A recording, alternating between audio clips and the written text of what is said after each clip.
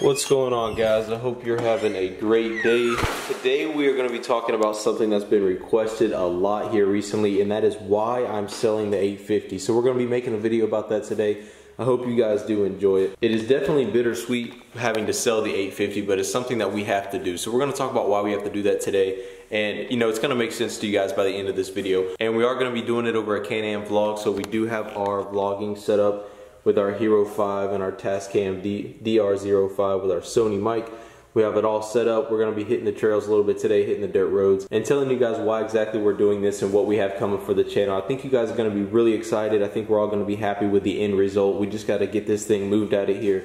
I have a couple people really super interested in it right now, so hopefully we can close out on that deal within the next five to seven days. And if you are interested in buying this thing, hit me up on Instagram because deals fall through all the time. I'm pretty sure we all know how that goes. Deals can fall through so quickly, so if you are interested in this thing, it is still for sale by all means. Hit me up on Instagram. Same thing as my YouTube channel, ParoDoXz. Hit me up in the DMs and I'll let you guys know how much I'm asking for this thing. Again, serious inquiries only. I've been getting a lot of DMs about it and not everybody is, you know, really serious about it. So if you do hit me up, make sure you're serious. With all that said, guys, we're gonna jump right into the video. Really quick though, I wanted to hit on, and by the way, thank you for the support on the 1000 video, that last video. If you guys haven't checked it out, make sure you guys do. I show you exactly how I cleaned my four-wheeler after that last Bogs and Boulders trip, which turned out to be a great video as well, getting really good reviews on that. Just getting a lot of support on the channel. I couldn't be more thankful for it, guys. By the way, 24 valve sitting out here, sitting pretty clean. I did wash it the other day. Duck It stickers are for sale on our website, duckduckdiesel.com, which is always linked in the description below. $8 free shipping. Couldn't be higher quality vinyl. You guys seem to love the stickers. We're doing great on sticker sales right now, and I never mention them. I never even really talk about them in my videos. So me and my brother are always talking about how do we sell so many stickers when we never even mention it. So I figured I'd mention it in today's video so you guys don't forget about that we do sell those things. So if you're interested, we do have a backwards hat Duck It sticker too and it's just kind of like a lifestyle it's not just a Cummins thing it's not just a truck thing we do have it on my brother's Can-Am which I'll show you that real quick you can put these things on coolers trucks cars anything it's just a, a lifestyle and we sell a ton of them so it wouldn't be far stretched to say you might see them locally around your area. My brother, as you can see, is repping one on his 850 XMR, and I need to get one for my 1000. I actually need to take off all the warning badges. Been thinking about doing that. Maybe I'll do that here soon. Of course, this huge one over here, and then you got a couple back here. I'm thinking about taking off pretty soon. Peek these new cleats I just got. I am huge into football. I don't know if you guys know that or not, but I did just get these new cams for ankle support because I got pretty bad ankles and just some new gloves because I lost my other ones. I did have some really nice ones, but had some cutters and another pair of Nikes, but I can't find them anywhere since last season. And just got a new running jacket also. But I hope you guys enjoy the video. We'll get right out there. I'll stop blabbering on.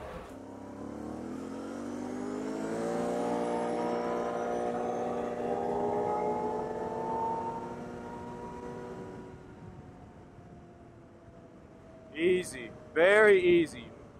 Barely putting any throttle in her. This 850 hauls ass, man. Always has. Very fun bike to ride.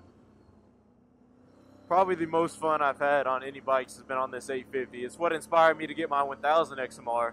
And like I've always told you guys, the Can-Ams, they might not be the best in reliability, but they are so much fun, so much fun. A little chilly out here this morning. Good Lord, it's about October time, I guess, so cold weather's starting to come around some bales of hay out here. Farmer's been working pretty hard here recently. All right, so we're just gonna jump right into the video, guys. Like I said, this video is all about answering the question I've been getting a lot here recently in the YouTube comment section or DM on Instagram. I respond to every single DM on Instagram, by the way. So if you're interested in anything uh, from maybe my YouTube setup, I don't even, I don't care, like, or what, you know, what my decision was to join the army. You know, anything, anything in between, like personal you know, not too personal, of course, but you know, personal life or professional life or or whatever your question is, hit me up on Instagram. I'm pretty good about responding to the DMs on there. But the YouTube comment section, I read every single comment, and I've been getting this a lot. So the reason we're trying to sell the 850 is really simple. I got to make room in my garage for a side by side, which is my goal right now is to get is to get into a side by side, whether it be a Can-Am Maverick, whether it be a Polaris RZR, going from a 900 uh, two-seater all the way to an 1,000 four seater. I haven't really made my decision yet, so I'm not really releasing which one I've decided on getting yet. I'm leaning towards one specific one and one specific uh, brand and model, but I don't want to give that out yet because you know anything can change. I could find a great deal on one side by side and can't pass it up, so it might uh, shift me from one decision to another. And I don't want you guys to you know question, oh, why did you change your mind last second or something like you know something like that. You guys get what I'm saying check out the river real quick, see if we see how high it is. Haven't been getting too much rain here recently. Yeah, it's pretty low right now. I don't see any fish in there either. But anyway, like I was saying, we are definitely trying to sell this thing to make room in the garage so that we can get a side-by-side fit in there because I'm definitely not leaving a side-by-side outside. You guys know how expensive those are. And not just from the fact of it possibly getting stolen. I'm really not too worried about that. Um, you know, insurance would, of course, be on it or whatever. And the area I live in really isn't known for crime, but still, that is one factor. I definitely don't want to leave it outside. Know, anything can happen. Um, I'm optimistic kind of guy. I'm thinking always the worst case scenario and things. You know, you always got to hope for the best, plan for the worst. So we are going to definitely want to keep it inside for theft reasons also. But another reason is the plastics on it. I don't, I don't want the sun to fade out. It's definitely something I don't want to happen and just for you know out in the weather. I don't want it out in the weather. Uh, we shouldn't get snow here, but you guys get the point. Uh, you definitely don't want it out in the conditions and out overnight uh, for theft reasons. So we got to make room in the garage by selling this 850 and getting into the side by side. Like I said in the beginning of this video, this is probably my favorite four wheeler I've ever driven because it's so much fun. You know, if it had a little bit bigger tires on it, and I talked about this in previous videos, if it had bigger tires on it and already was snorkeled, already had the rad kit, it would make sense financially to to keep this one and not have went into an XMR. But you know, when I was pricing things out on building this one into what I wanted it to look like and be like, it made more sense for me to go ahead and buy the 1000 XMR because it already had the snorkel, the rad kit, the bigger tires, and had everything I needed on it already. You know, building it is half the fun. I've, you know, I've built everything on my truck. I bought the thing completely bone stock. You guys know that, and I built that thing up into what it into what it is today. And that was, you know, so much fun. I had so much fun doing that.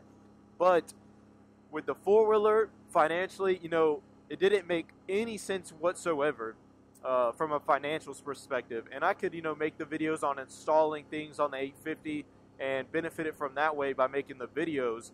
But I just don't think the margin was there. So I went ahead with the 1000 XMR, which of course install videos are going to happen on that. I'm in the final works of getting parts ordered for that right now. Should be ordered no later than next week. New parts for the 1000 XMR. I'm always working on things. I'm always grinding behind the scenes you guys don't see.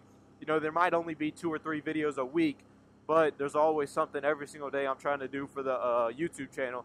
Like, for instance, just two days ago, I ordered uh, $150 worth of camera equipment to improve the YouTube quality and, and improve the uh, you know video quality on the channel. So I'm looking forward to getting that. I ordered that off Amazon, so I should get that within the next you know three or four days. Go ahead and do a little dirt dirt road pull. Woo, oh my God, she gets sideways so easily on this dirt road. I can't even give her any throttle. Jesus.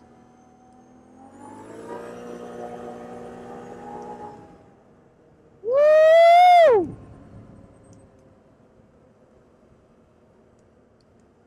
Don't want to give her too much hell. I don't want to make those guys trying to buy this thing thinking I'm ragging it out on the last day. That's not happening. This thing can definitely take that power. No problem. Oh, we'll check out the other river real quick. If you even want to call it a river, more like a creek.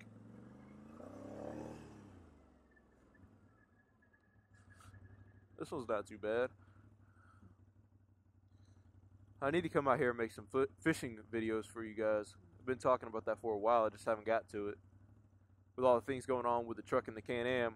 Speaking of things going on with the truck, if you guys interested on the status of the headlight build, I did talk to Travis a couple days ago. Headlight build is in progress. Like I said, he is in Houston. He's based out of Houston where his shop is and his business, so it did get hit pretty hard by the hurricane. So he is having to reboot his business, reorder things that he lost. You know, all around a shitty situation for Travis. So, of course, I told him, you know, full support to him. uh, you know, take as long as he possibly uh, wants, of course, to get the headlight build done. Uh, but we are looking forward to that pretty soon. Don't see any fish jumping around here either.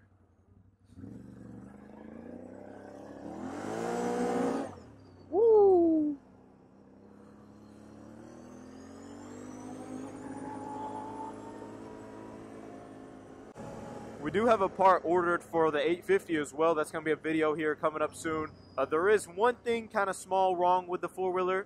I'm not going to give it away right now. Some of you guys already know about it. But there is one small thing wrong with this four-wheeler. Not mechanically, of course. It's cosmetic issue. But we are getting it fixed. I already ordered the new part. And we will be making a video on that before I sell this. So be expecting that within the next few days as well as a video. Because, of course, I'm not going to sell anything that has something wrong with it. I'm not that kind of guy. I've never been that kind of guy. I literally on my second truck I had and my first truck, my first truck I fixed before I sold it, my second truck, I spent like $1500 and just repairing it before I sold it because you know, selling something some selling something to somebody broken is not something that I do. Not something I'm about. So I always fix something if anything's wrong with anything I sell. I can guarantee it's going to get fixed before I sell it. And uh, this thing, if you are interested in buying it, um, I do have a four year warranty on it. If you would like the warranty, I can sell it to you with the bike. But if you don't want the warranty, I can sell the bike for a lower cost. So, like I said, if you're interested in it, hit me up on DMs. We can talk about it there. But I do suggest the four year warranty because anything can happen with these Can Ams. It could snap axles, differentials could go out, transmissions could slip and uh, belts. You know, it doesn't cover belts, the product, but it will cover the installation and the warranty. So it's just some things to think about. Warranty is always good to have on these Can-Ams or any other bike because anything can happen at any time. You can have the most reliable experience with a product, and then the next product, kind of the same brand, it could go to complete crap. You just never know what's going to happen. But this one right here, I will say, has been reliable as heck to me. I mean, I haven't really put it through anything crazy. It's never been in mud before. It's only been on dirt roads like this because, I mean, it's self-explanatory. The tires wouldn't even be able to take it. But it's been a hell of a lot of fun. I'm definitely going to miss it. But we got to get a side by... Oh, I haven't even talked about that. Why do we have to get a side-by-side? -side? Let's talk about that really quick. So a side-by-side -side is what I'm working on because main reason it would be safer for the wife and child to ride in a side-by-side protected by a cage rather than riding on the back of the four-wheeler and having to get off every single time I go into a deep mud hole or anything sketchy. They, of course, have to get off because, you know, when you hit a mud hole for the first time, you can go into it thinking it's really shallow. It can be out in the middle of a field, and it can be a mud hole out in the middle of a field, and you're thinking, oh, this thing's only you know, a foot or two deep. You could hit it, and you could go right to the bottom. So, of course, they get off before any mud holes hit which sometimes delays in filming when we're out there on the in the ATV parks. And just from a safety perspective, it's smart. So that's my first reason. A safety perspective, that's why I want a side by side, safe, more safe for them. Uh, secondly, uh, of course, I would be driving it, making videos out of it as well. But you know, mainly they'd be driving it because they'd be recording me and my brother on the 1000 XMR and the 850 XMR, which a lot of you guys love those videos. So we're trying to improve the aspect of filming. Uh, another thing, we could carry camera equipment. I do have a lot of camera equipment. My brother has a lot of camera equipment. We could carry it in the side by side, carry a cooler. Better, I mean, of course, we could carry a cooler in this thing as well, but you guys get what I'm what I mean. It's just more room in a side by side in the back of it, and we could carry camera equipment and a cooler a lot easier in a side by side. Another reason is winching.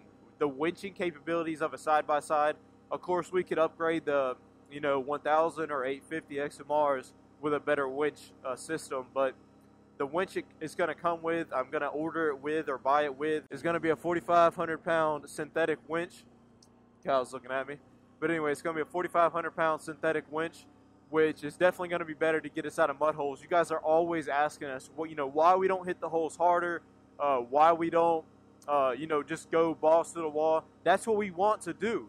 That's what getting a side-by-side is going to help us enable to do. I mean, of course, just like in the last video, you guys seen, we winched up to a tree uh, with a uh, strap, with a winch connect. You know, we can think of things to get us out, but why not make it a little easier by having a bigger side-by-side, something that's heavier, something that's not going to move as easily as say my brother's 850 as he's trying to winch me out.